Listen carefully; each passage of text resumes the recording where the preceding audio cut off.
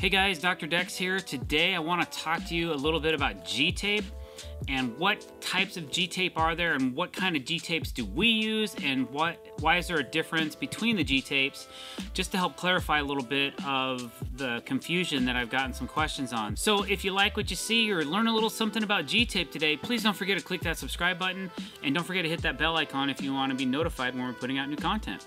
All right, so back in the day, when I first started using this, I had an opportunity. The distributor called Vandermeer, which you can kind of see is in the, on the inside of this tape roll. Okay, Vandermeer was a local company, and the sales rep knew that I was using a lot of waterproof membrane tapes to seal the tops of my joists and flat blocking. I was doing a lot of unique installs, and I had to protect the frame, and I'll get into that in a little bit. And he came to me with this new tape uh, he said, Hey, man, we are just getting ready to launch this stuff and I want you to use it. I was like, Well, bring it out and I'll test it and then I'll let you know if we'll use it or not. And we were happened to be shooting a television show at the time.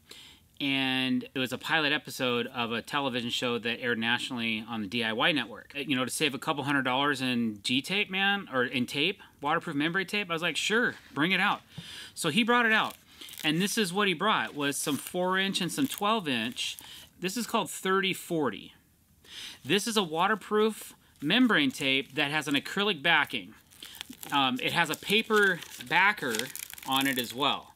Okay, so this stuff is kind of cool though because you can rip it and if it sticks to itself, because it's acrylic, you can actually pull it apart it still sticks really good, but you can actually pull it apart. On other um, asphalt-based membrane tapes, when you do this, you're throwing that piece away. If the wind blows and it, it just goes like this, if it just barely does that, you're done. You throw that piece away because uh, you're not going to get it apart. If you do, you're lucky, but it usually doesn't happen. If you get a little corner or something that you don't like, you can just rip it off, no big deal. Okay, so this stuff is really sticky. It's really hard to apply if you're wearing gloves. So we always take our gloves off, even in the dead of winter, cold, whatever. We know that we kind of need to use our fingers because it is, it is pretty sticky. All right. So the reason why we use so much of this stuff, it's it's considered joist protection. So let's just say this is your frame, this is your joist. When we when we tear out decks, the first thing that rots is like if your decking's running like this on this board, the first thing that rots is the gap in between your deck boards. It's where all the sediment, we have a lot of pine trees here. Now this might vary from parts of the country, parts of the world, whatever, topography, elevations, all that stuff. But in the Pacific Northwest, where there is a lot of pine needles, all that stuff sits in between the deck boards and it sits on top of this pressure treated hemlock and it starts to fester and decay and rot and then it creates moss and mildew and then it like stains the side of the board. And pretty soon it's just going to decompose right there and it's going to start decomposing your frame. So if you take some waterproof membrane tape all right and you lay it out and I wouldn't use a, normally a piece of four inch. They're, they make two inch so let's go over the sizes really quick in 3040, they have 2, 4, 6, 9, and 12 inch rolls. Okay?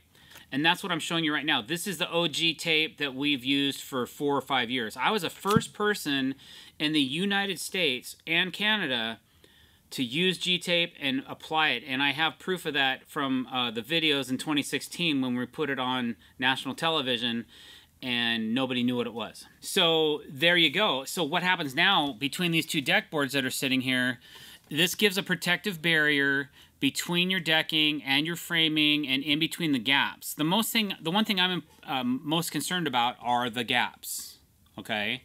When I'm talking about joist protection. Okay, there's also a lot of times where we run flat blocking okay? When we run flat blocking, we have to protect not only that flat block, but any place that water would permeate. Like let's say we have a flat block and we have a joist here and a joist here. I want to tape the whole top side of that. And usually I would use some 6 inch of 3040. And you can apply this a couple different ways. Usually, I used to make a lot of signs with my brother. He used to have a sign company. I would come over and I would help him with, with signage. So I got really good at applying vinyls and adhesives and things like that. So I can just use my hands. Some guys use a trowel or a roller or um, a squeegee to apply their tape. And those are all great methods to keep a bubble-free top. What's cool about this G-tape, let's say I didn't like the way this was down. I can actually peel this back if I really want to.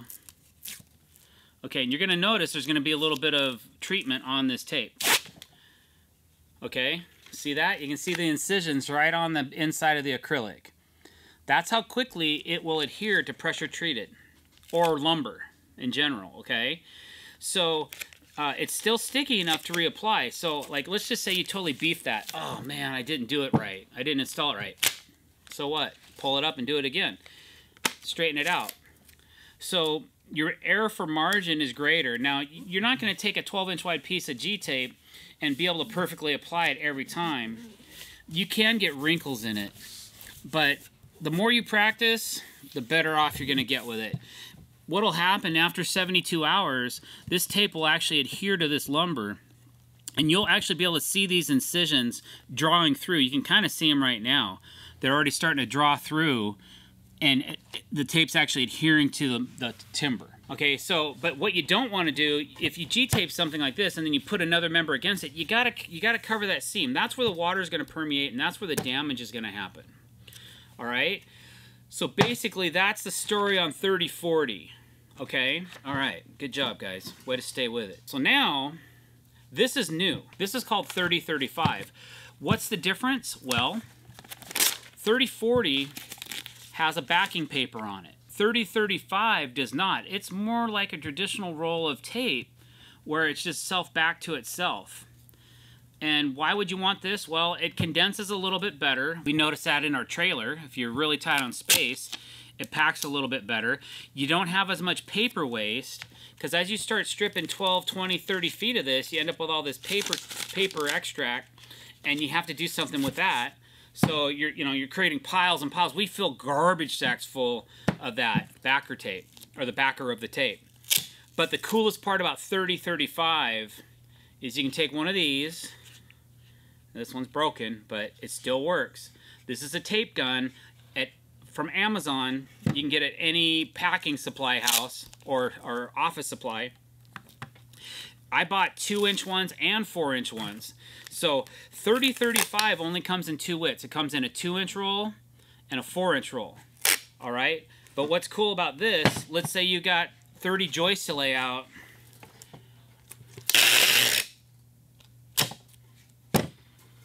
It's that quick. And you can just lay this lay it down and then smooth it out.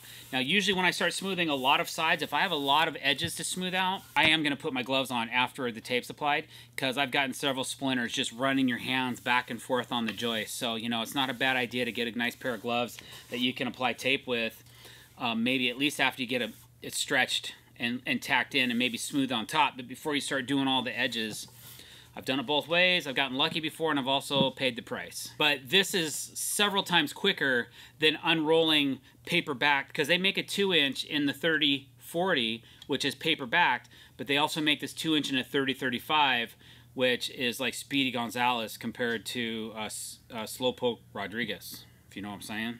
So those are the two main differences the, the last roll of tape, you'll notice that the inside of this roll looks a little different than the 3040 does. Okay, and that's how you tell a difference. What this product is, this is a EPDM compatible tape that we use when we do our waterproof bladders. This is called 3045. It's a little bit thicker than 3040. It is paper backed and it comes in two, four, six, nine, and 12 inch widths. It smells a little bit different. You'll notice sometimes when you're using G-tape, it has a specific odor, but it's not really offensive. It's just kind of, well, it smells weird. But the cool, the thing that I like about this, this stuff has a really good super tack to it. And it's a little bit thicker, so if you're trying to do waterproofing, it works really well. But what I'm gonna do is I just have a really too large piece of EPDM pond liner here, right? So I'm just to cut a piece off. All right, and what we do with this stuff is we use it for uh, waterproofing our decks. And if you follow us on social media, you probably already knew that. All right? But what it's good for is like, let's say you have a seam right here, or even if you're overlapping seams, the first thing is the pond liner has a little bit of a silver coating on it. So I kind of like to wipe that down whenever possible before we actually apply the tape. So now that that seam's done, I'll take some 3045, okay, and then let's just say this is over the top of a frame of a joist or something. We've got our overlap. We've already caulked this. We've stapled it down. And now our final layer of protection is going to take this and go right over the top of it. And it has the same inherent properties like, oh, if you mess up or you put a little bit of a wrinkle in it, you can still pull it back. Now 30, 3045, it, does peel back kind of easy, but it's still, it's already starting to stick. Okay, so if, if it's wet out though, it's not going to stick. You're going to have to staple it or something to make it in, to make it tight. The, the reason they came out with this is because I was talking to the chemists at G-Tape and I'm like, yeah, man, we do a lot of EPDM pond liners and we want something that we can put on top to protect all of this and they wanted to make sure that the chemical compound was compatible with the EPDM. It was that important to them that they came out with this EPDM tape. So, and I really like it. I don't have a problem using 3045 over any other type of tape. Um, sometimes when I'm doing a lot of bladder work, I might still run 3045 in other sections of the deck. Now that this has uh, been installed, I can pull on this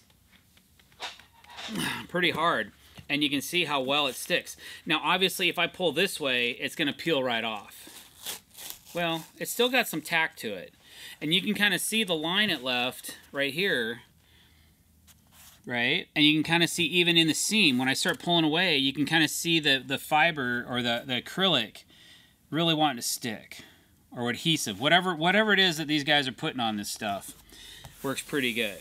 So, and you again can reapply it stick it down. We haven't had any issues with using this tape compatibility wise with the EPDM pond liner or the decking products. It's a great product and we really like it. Okay, so there's one more tape that I want to talk to you about that G-Tape makes. Now, G-Tape makes, G-Tape is owned by Mitsubishi. The subtitle is Nichigo, and they have several different lines of tape. Uh, this is also one that we got our hands on that we use quite a bit of. So this green tape, it's called 1009 GR. And this is more like a painter's tape that you get at the home centers, like the blue tape or the frog tape or whatever. I use this a lot when I'm caulking up a house, when we're we're trying to leave some fine lines, where we don't are trying not to leave such a mess with our caulk. And basically, it comes in a roll as well. I think it's 65 feet. It's it's easy to tear and edit and rip, and I'm doing that a lot. And I might be trying to work around an angle or something like that you know? And this stuff doesn't tack as hard it doesn't tack up as hard as the the um, 3040 series or 3035s it's not meant for waterproof or for uv protection. That the, the 30 series the 3040s and the 3030s these tapes are heavy duty. They are built for uv protection. They will protect for a very long time. Where this is not meant for that. This is more of a disposable tape that you're going to use like a mask. But it, it works it's pretty good for workability. I I've done some great stuff with it. Um, just just tearing it apart and doing little detail work around gutters and door jambs and things like that, where you got all these funky curves and or circles or whatever. So um, and then the cool thing is once you're done detailing it with your caulk or whatever, then you just peel it up. It all comes off. It doesn't really stick to your hands too much. You can roll it up and you know what I'm saying? So basically, those are the differences. Those are the types of G-tapes we use. We also have a safety tape that we've used before where we block off doors with, so that's pretty cool product as well. If you want more information about G-tape, either leave a question below or uh, contact us on our Instagram channel, and I'll give you the representative's direct handle that you can contact him for samples. Thanks for watching this video, guys. If you liked it or you learned something about G-Tape today, please don't forget to hit that subscribe button. Hit the bell icon to be notified when we're putting out fresh content. Don't forget to comment below. And please don't forget to like our videos as well. It really helps us with our channel. Thanks for watching. Have a great day.